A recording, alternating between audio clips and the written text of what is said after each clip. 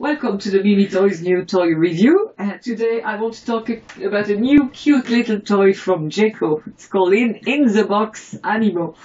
And what's nice about this, now this is my creation, um, is that it's, um, it's, they're all magnetic, all magnetic pieces. And really the idea is that you use the magnetic pieces to make uh, little characters, animals, animal characters. But what's nice is that the box is the support.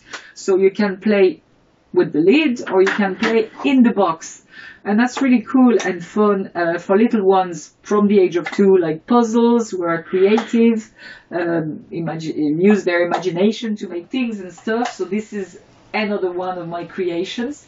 It's a bit of fun, but really what's nice about this, it's the compact. It's all in the box.